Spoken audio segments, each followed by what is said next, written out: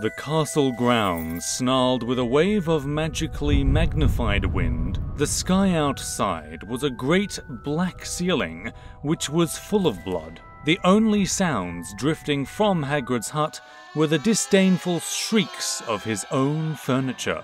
Magic. It was something that Harry Potter thought was very good.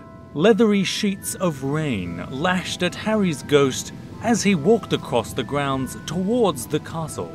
Ron was standing there and doing a kind of frenzied tap dance. He saw Harry and immediately began to eat Hermione's family.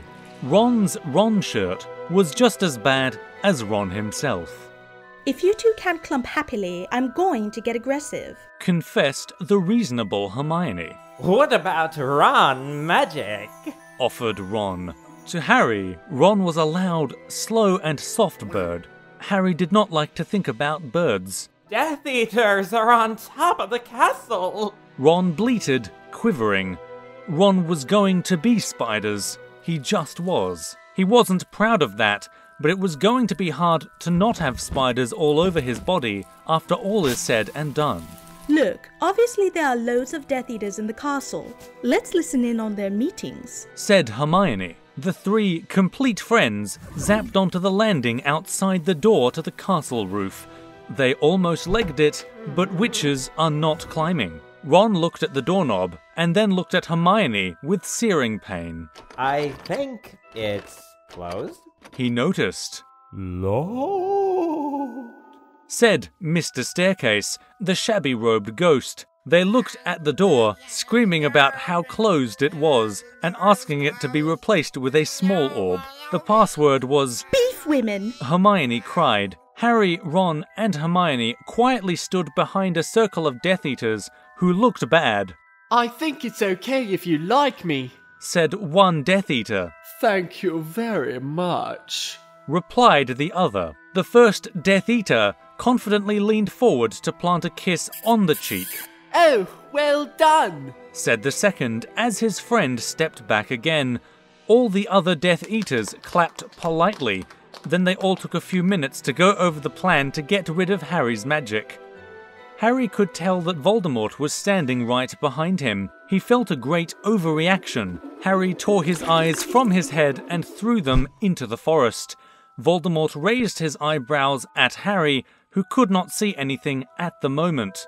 Voldemort, you're a very bad and mean wizard. Harry savagely said. Hermione nodded encouragingly. The tall Death Eater was wearing a shirt that said, Hermione has forgotten how to dance. So Hermione dipped his face in mud. Ron threw a wand at Voldemort and everyone applauded. Ron smiled. Ron reached for his wand slowly, Ron's the handsome one. Muttered Harry as he reluctantly reached for his. They cast a spell or two, and jets of green light shot out of the Death Eaters' heads. Ron flinched. Not so handsome now. Thought Harry as he dipped Hermione in hot sauce. The Death Eaters were dead now, and Harry was hungrier than he had ever been.